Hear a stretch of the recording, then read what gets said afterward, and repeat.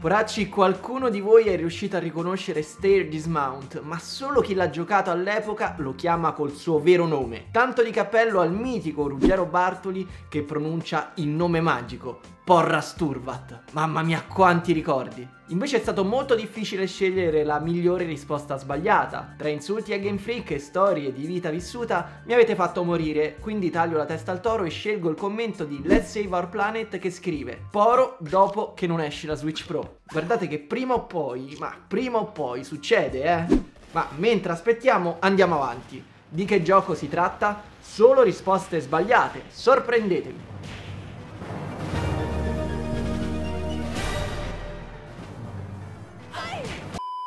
Poracci, bentornati o benvenuti su TG Poro, l'unico format di YouTube Italia dove si parla di videogiochi sempre in formissima. Quella di oggi sarà una puntata ricchissima, ma così tanto che mica lo so se ve la meritate. Discuteremo del nuovo trailer di leggende Pokémon Arceus. Continueremo a parlare di Kirby e di un anno che sarà sicuramente all'insegno della palla rosa e andremo a esaminare gli ultimi rumor relativi a GTA 6. Riusciremo a conquistare in modo non violento YouTube Italia prima che esca il sesto capitolo di Grand Theft Auto? Io ci credo, però voi vi dovete impegnare. Lasciate un like, iscrivetevi attivando la campanella delle notifiche e seguitemi sugli altri social, trovate tutti i link in descrizione. Bene, ho detto tutto iniziamo!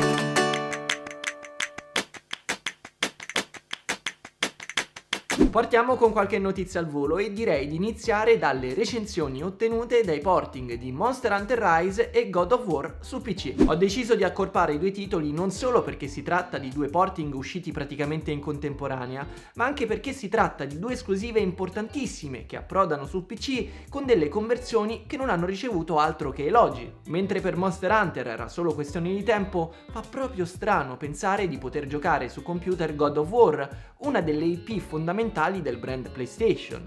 Tra l'altro come conversione sembra ottimizzata a dovere e non solo presenta un passo in avanti netto rispetto alla già eccellente versione PS4, ma in più non richiede chissà quale configurazione per girare degnamente. Insomma, se stavate aspettando con impazienza Rise e God of War, beh, servitevi pure, le versioni per PC sono dei must buy assoluti. Qualche tempo fa abbiamo parlato del reboot di Twisted Metal, progetto che sembra aver ricevuto uno scossone durante la produzione. Infatti il titolo sarebbe stato affidato a un nuovo team dopo che Lucid Games, gli stessi di Destruction All Stars, avevano iniziato la produzione. A prendere le redini del progetto ci penseranno i ragazzi di Fire Sprite team recentemente acquisito da Sony che si occuperà del gioco in VR Horizon Call of the Mountain. Non si conosce il motivo di tale importante cambiamento, ma a quanto pare i due studi sono fisicamente molto vicini tra di loro, entrambi sono situati a Liverpool e recentemente uno dei game director di Lucid Games è stato assunto da Firesprite. Insomma, questo cambiamento non dovrebbe necessariamente indicare che i lavori siano ripartiti da zero. Speriamo bene per il ritorno di Twisted Metal. Chi di voi si ricorda di Spartacus?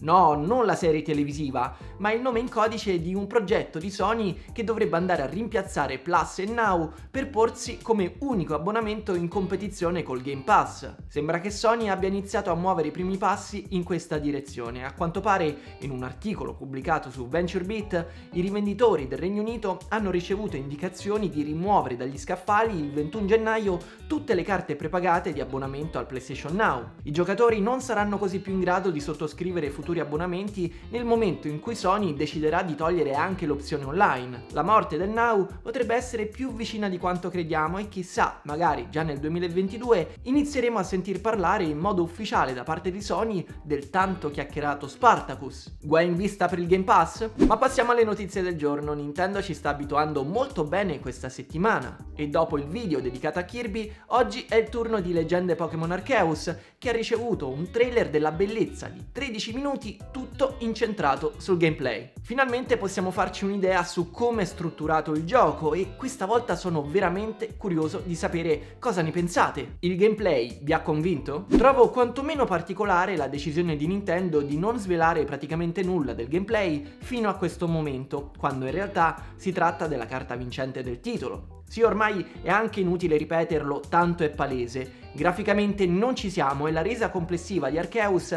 è datata anche per una console poco ambiziosa come la Switch. Il gameplay però è la parte più affascinante di tutta l'operazione, insieme alla storia che potrebbe rappresentare un tassello fondamentale per i più appassionati alla lore dei mostri tascabili. Resta il fatto che grazie a questi 13 minuti di gameplay abbiamo finalmente le idee chiare su come funzionano esplorazione e combattimenti, come si struttura il gameplay loop diviso tra missioni, richieste ed esplorazioni e in generale il pacing di un'avventura che punta a discostarsi da tutti i canoni della serie. Ci sono molte cose che mi hanno colpito, come l'inclusione del crafting, la riscrittura del sistema a turni che per certi versi mi ha ricordato Final Fantasy X, le fasi action mutuate quasi da un Monster Hunter e le fetch quest prese direttamente da Xenoblade Chronicles e qui si vede l'aiuto di Monolith. Ci sono parecchi punti di riferimento illustri e siamo ben lontani da quello che mi immaginavo come un semplice tentativo di imitare l'open world minimalista di Breath of the Wild,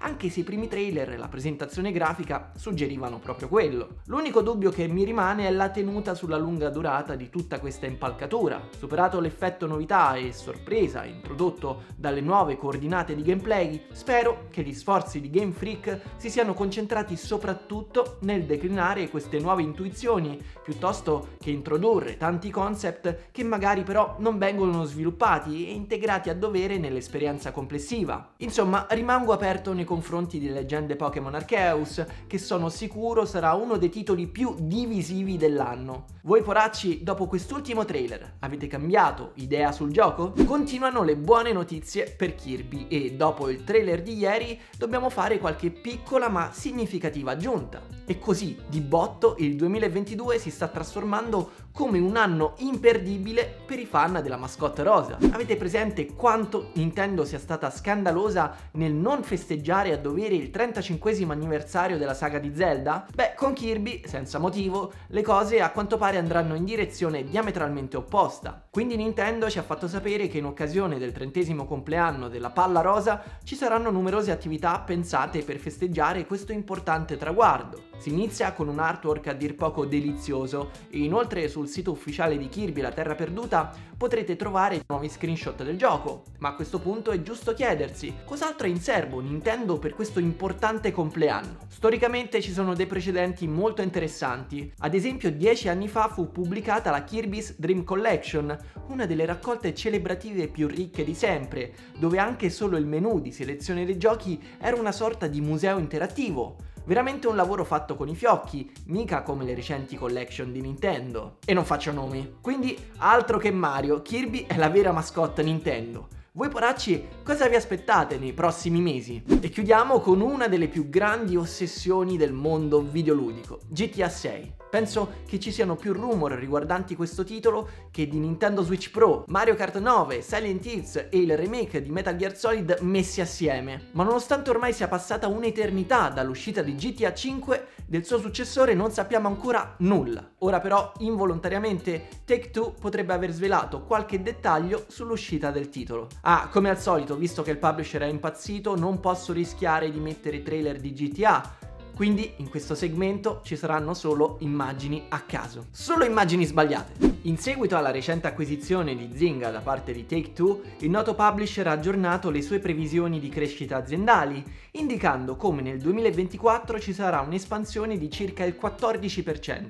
Gli analisti hanno fatto notare come un incremento del genere sia possibile solo tramite l'uscita di un titolo in grado di smuovere numeri di vendita impressionanti, in quanto sarebbe equiparabile a una spesa da parte dei consumatori di 9 miliardi di dollari. Quindi in molti si aspettano, nel periodo compreso tra il 1 aprile 2023 e il 31 marzo 2024 l'uscita di un AAA che molto probabilmente sarà proprio GTA 6. Quindi dormite sonni tranquilli, avete ancora un altro anno e mezzo abbondante di GTA Online, nuove versioni di GTA 5 e anche ottime remaster storiche come The Trilogy The Definitive Edition. Non male, eh? Ma ditemi, voi poracci pensate che questo periodo di lancio sia realistico per un colosso come GTA 6? E questo poracci era tutto per oggi, vi ringrazio per essere arrivati fino in fondo e vi aspetto qua sotto nei commenti per discutere assieme delle notizie del giorno.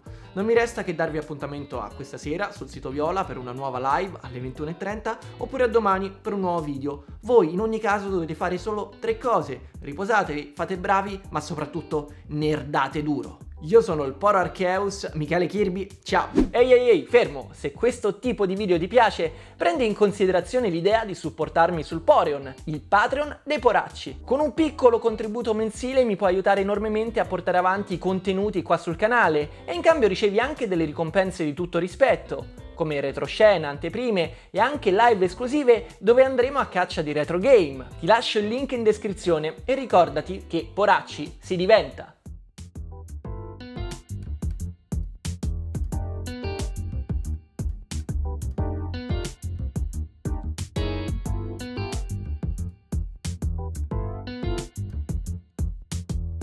uh,